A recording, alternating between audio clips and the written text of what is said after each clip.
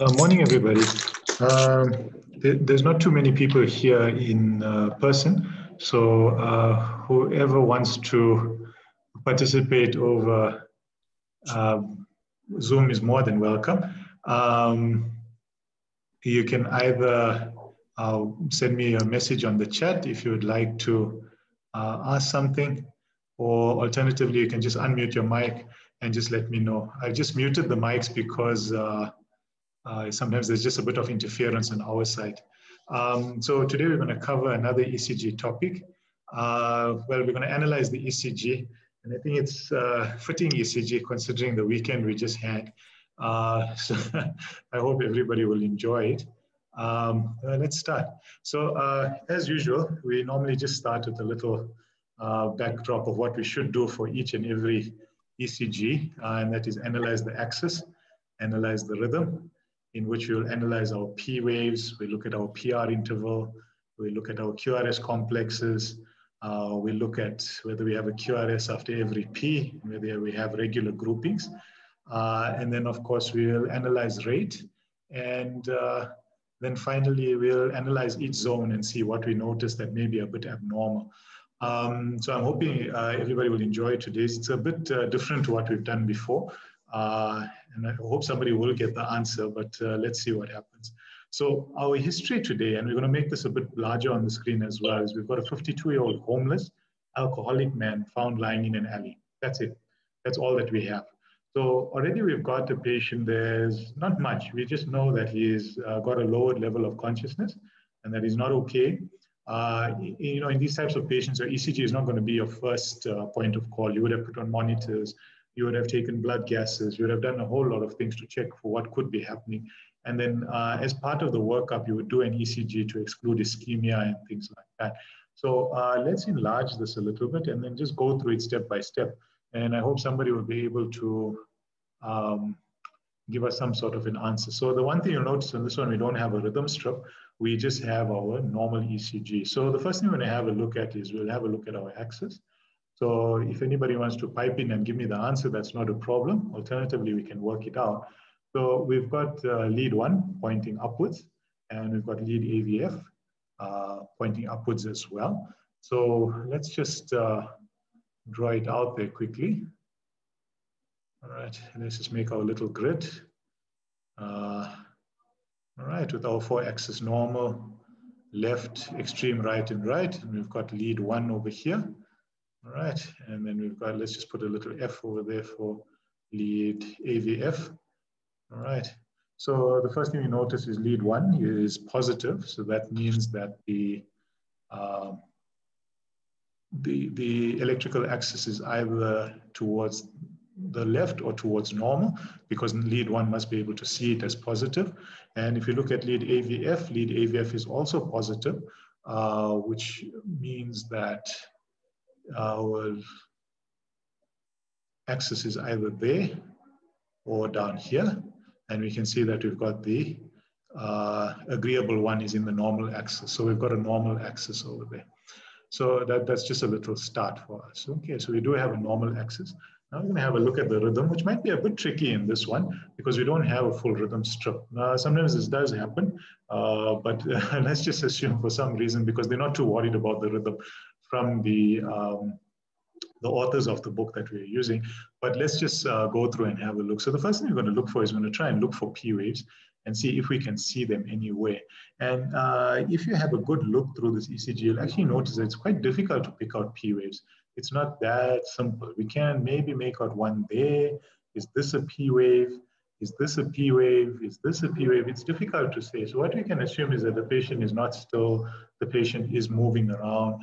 And uh, it's a bit of a difficult one. But I think from all of them, uh, the closest that we can get probably uh, to a P wave is uh, probably around here in lead V3. So the reason for, for me saying that is that here you can see a little T wave. And then after that, you get a P wave as well. So if we were to look, and if we were to, we, we could of course say that this is an atrial fibrillation, or this is a junctional rhythm without P wave activity, that's for sure. And when we get to the answer, we'll see what they say to us. But if we assume that this is a P wave, then we've got a PR distance of one, two, three, four, five, six, seven. So a very prolonged PR interval, which means that it's a first degree heart block. Okay. Uh, so if you've got a first degree heart block, in and of itself is not diagnostic of anything, but it is a bit of a worrying thing. Uh, the one thing that we do notice is that the P waves themselves are quite regular, even in the short little example. So it would be technically a sinus rhythm, but we know that there's a first degree heart block. Um, then we look at our QRS complexes. So what we note is that we've got relatively narrow uh, QRS complexes all throughout the place. And uh, we've just got these odd QRS complexes from time to time. So these look like premature ventricular contractions from time to time. So these are things that you would want to check on a rhythm strip, which unfortunately we don't have over here. And um, then we need to check if we have a uh, QRS after every P. Uh, even though from this little rhythm, it does look like it, when we look at this one, it may not necessarily be so. So we've got this bit of an abnormal rhythm that's going on as well. Um, and then the last thing we check for is just if it's regular grouping. So we do have some regular grouping. So uh, this may also be just a conduction abnormality. I mean, not conduction, but just uh, conduction to the machine. So it may be from the patient moving that we're getting these odd uh, little spikes over here because they don't really appear anywhere else. So, um, you know, these are the things that we need to consider because uh, as we say, he was just found lying in an alley. We don't know what happened. Uh, all right, so let's look at our rate. So the rate that we're looking at is we've got one, two, three, four, four and a half, so just above 75, closer to 80 beats per minute.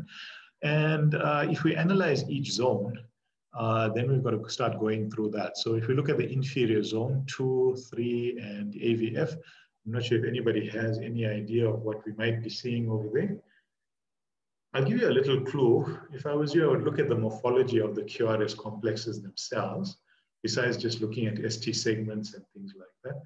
And uh, if nobody's in the mood to talk, that's fine as well. Because I know it's a bit different from what we've, we've dealt with before. We're actually trying to now make diagnoses on an ECG compared to uh, just looking for ischemia and rhythm disturbances and things like that. So um, in order not to make things too complicated, let me try and take everybody through it. But let's just go through what we know already. So what we see is this bit of a downsloping ST segment with inverted T waves. That's what we can see on the inferior aspect of the, um, of the heart. Uh, if we come across to the septum, then again, we see this little uh, sorry, uh, we see this little, uh, you know, ST deviation and going up to an ST, I mean, into a T wave, or maybe it's a P wave, it's difficult to say. If we look at the rest of the septum, we've got a very poorly connected V2, so it's difficult to say what's going on there. If we come to the anterior part of the heart, V3 and V4, again, we see this odd shaped ST segment. It's a very odd shape. It's not the normal shape that we normally see. And when we come to the lateral edge of the, of the heart, V5, V6, leads one in AVL. Again, we see the strange morphology with this down sloping ST segment, which is not normal. We don't normally see that. All right. Now, uh, does anybody want to tell me what looks strange? You don't necessarily have to give a diagnosis, but there's something that doesn't look odd. Even if we go to the right side of the heart, this morphology doesn't look right. Okay. So we've got an RS and is, is this RSR? Does anybody have an idea of what this could be? Because it just doesn't look normal. Agreed. Let's go back to our patient. So we got 52 year old, homeless, alcoholic, found lying in an alley with a first degree heart block. We're guessing a diminished uh, level of consciousness. And uh, we need to find out what's going on. So what would be your differentials for such a patient? Number one, of course, you could look at aspiration because he is an alcoholic. So could he have aspirated into the lung? Could he be having some problem over there? Could it be an ischemic event, which it definitely can be because the patient has now dropped down.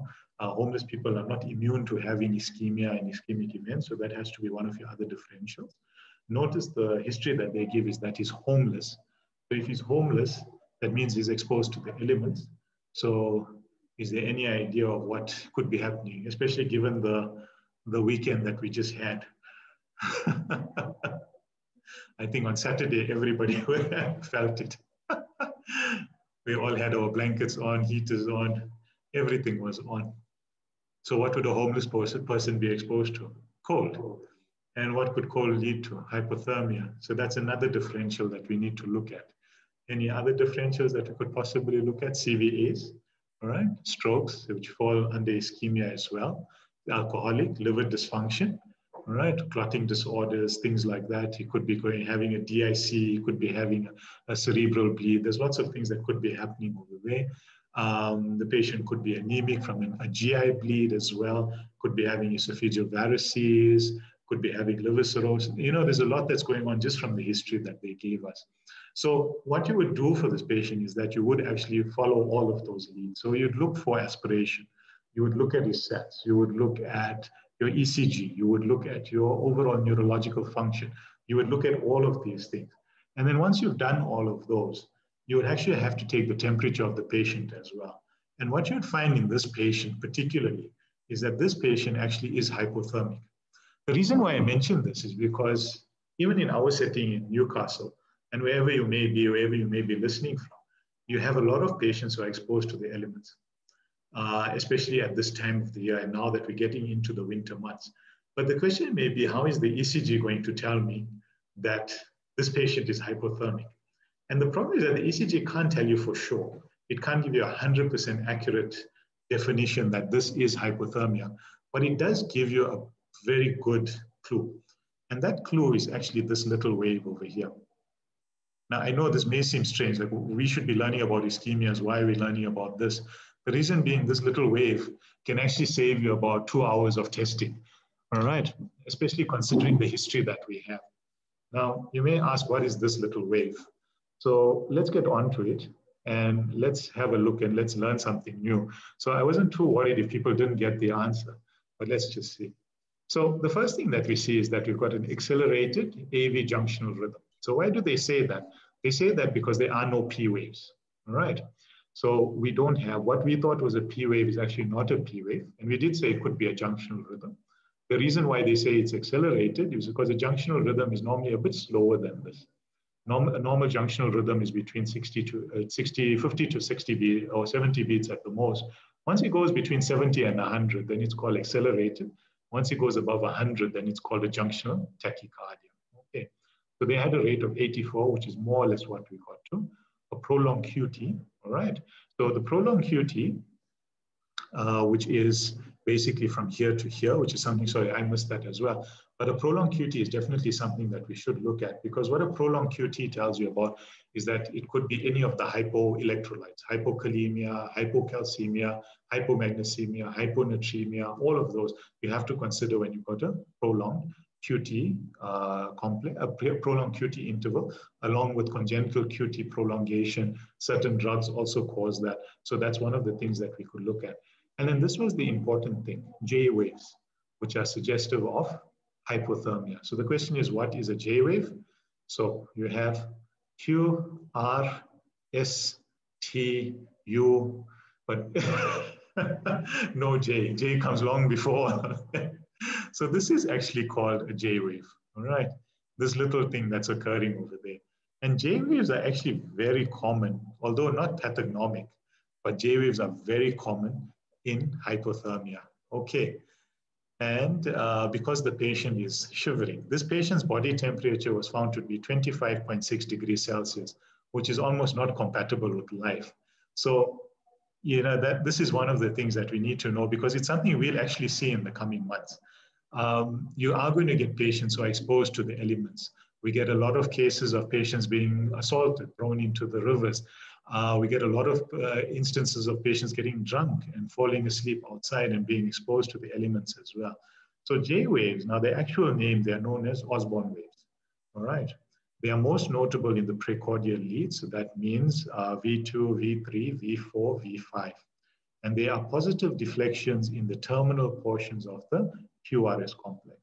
That means when you come to the QRS complex, towards the end of it, it's a little positive deflection that we see here in all the precordial leads, although you can see it a little bit in the inferior leads as well, right? So the exact cause of the J wave in hypothermic patients is unknown, which is good because it would take a long time to explain if it was known. Why would the heart react in this way, all right? Although considered highly sensitive and specific for hypothermia, J waves are not pathognomic for hypothermia. So in other words, it has to correlate with what you're seeing on your patient. So you have to see a cold temperature, physically taken cold temperature. And that's not just a peripheral temperature. You have to take a core temperature as well, which means you have to do a rectal, a rectal thermometry as well to actually check and make sure. So what else is hypothermia uh, associated with? Prolongation of the QRS. So you can have wide QRS complexes and QT intervals, all right? So in this case, QT was 0.54, QTC 0.64. And if you didn't understand that, don't worry, we are going to cover it in later, in later sections, but uh, we just wanted to go through it. So other causes of prolonged QT intervals include, like I say, hypokalemia, hypomagnesemia, hypocalcemia, myocardial infarct, elevated intracranial pressure can also cause it, and drugs with sodium channel blocking effects, uh, cyclic antidepressants, quinidine, and congenital prolonged QT syndrome. So there's a lot of things that cause the QT to actually become uh, prolonged, and it's something that we need to know as well. But we're going to cover the QT part of it in a little in a little while, not right now. So QT interval prolongation in hypothermia and hypocalcemia is completely due to ST segment prolongation. The T waves remain unchanged. This is not true for other causes of QT prolongation. So if you caught all of that, that's very good. but I've got my young student in front of me and he's frowning because it's a lot to take in at one point. So don't concentrate on that part of it. We'll get into how you diagnose QTs and how you worry about QTs later on because it's quite an involved topic on its own. The most important thing for us to concentrate on is just the J waves today. So let's have a look at what the J wave actually is. All right. So this is the J wave or the Osborne wave. So the reason why I say it's a bit odd uh, is because it, it, could, for instance, be regarded as an RS R prime, uh, which means an R is a positive deflection, S is your negative deflection, and then your first uh, R wave again is also called an R prime. The main difference with it is that an R prime doesn't start towards the end. Uh, and it's actually slightly different, which we'll get to in other lectures as well. Uh, but in this case, this is not an R prime. Okay. So uh, this is, like I say, it's not pathognomic of hypothermia, but it is highly suggestive, right? Highly suggestive. So generally it occurs in patients already below 32 degrees Celsius. Okay, can be a normal variant as well. So you have to actually have a look at it. It can be a result of hypocalcemia, neurological insult with increased uh, intracranial pressure, certain medications, and even ventricular fibrillation, post-ventricular fibrillation, it can happen, right? You won't see it during actual VFib. It's generally most prominent in the precordial leads, and the size of the wave correlates with the degree of hypothermia, and it usually resolves with warming, which is actually something that can guide you as to whether that was the cause of the J wave. Because remember, if because it's not pathognomic, you've got to look at other causes of it as well. What if this patient has raised ICP? What if this patient also fell, suffered an intracranial injury? So you have to know those things as well.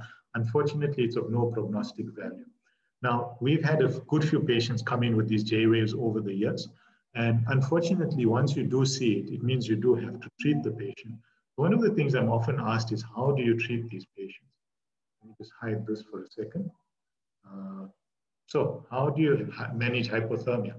So the easiest thing to do is actually warm the patient up. But the question is how? How do you warm a patient up?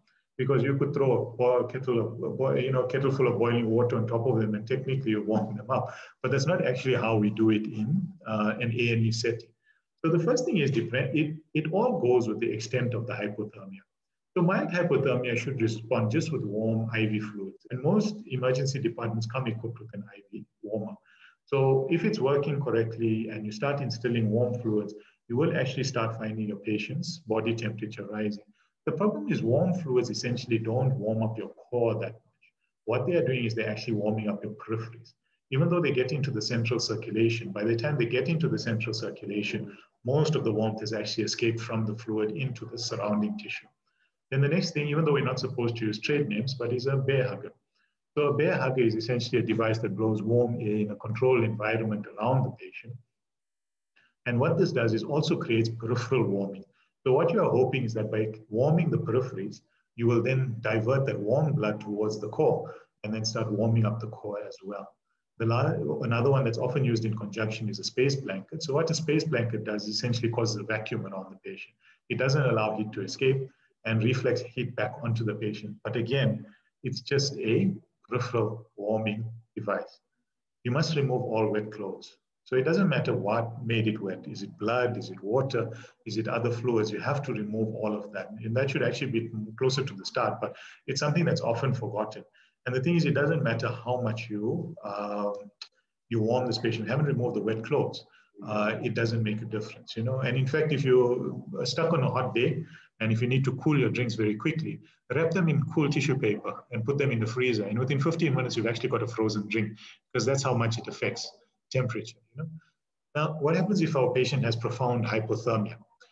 We need to do central warming. So the question is, how do you do central warming? Now, there's a few ways that you can try, but this is probably the easiest, and that's bladder lavage. So you may ask, what is bladder lavage? So you don't have to remove the bladder. It's actually quite easy. Bladder lavage is basically inserting a urinary catheter, normal Foley's catheter into the patient.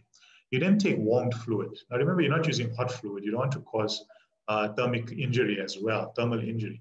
So what you do is then pass these fluids, about two to 300 mils at a time, into the bladder.